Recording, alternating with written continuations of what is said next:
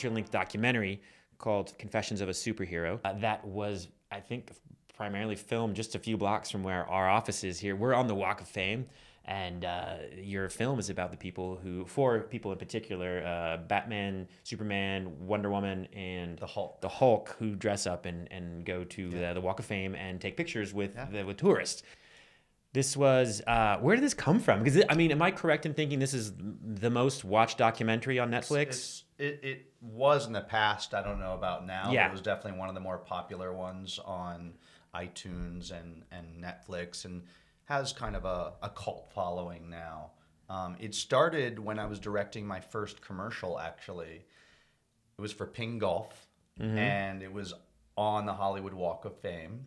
And I was directing this commercial, and I kept seeing these characters who I'd driven by many times, as all of us have, right by Hollywood and Highland, seeing these interesting characters dressed as movie superheroes or characters.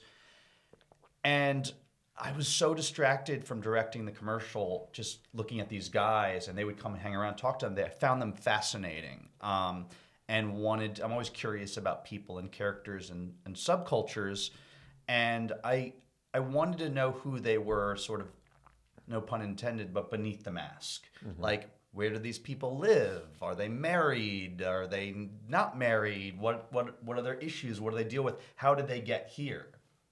And I really started right away. Like within two weeks, we started filming it. Filmed them over about two years or so. This was all on your own dime. You just started All on filming. our own dime, but it was in our backyard, and digital um, filming and Final Cut was starting to come on into its own, so it wasn't expensive to do. Mm-hmm. Drive up the street and film them. Um, so there were some investors, but it, we we kind of just went and made it. How did you uh, and, and make, initial contact with uh, some of these, uh, some of your contacts, or some of your your My fe- Yeah, your, fo- characters? yeah, your focus characters. Well, Superman, who's sort of the Christopher Dennis is his real name, who's sort of the mayor of all the characters. He was the guy that kind of came up to me when I was in between setups of filming this commercial. So right away, I you could just feel his presence, like he was the guy. hey, look at me. yeah.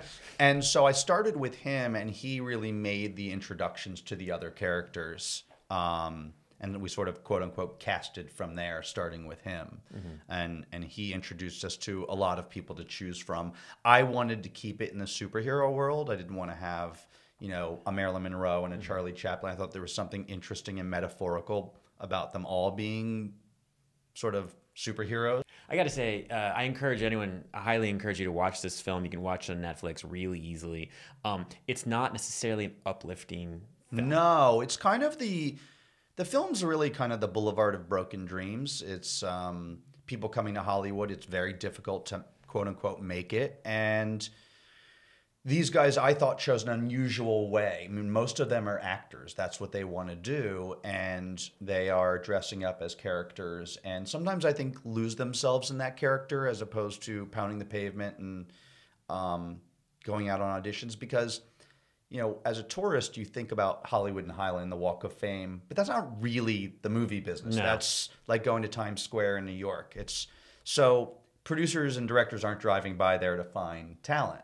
So it was it was a exploration really of following your dreams and how you do it, whichever way you do it. And I thought that was relatable, um, whether they did it the right way or the wrong way. How long did, uh, you know, principal photography last?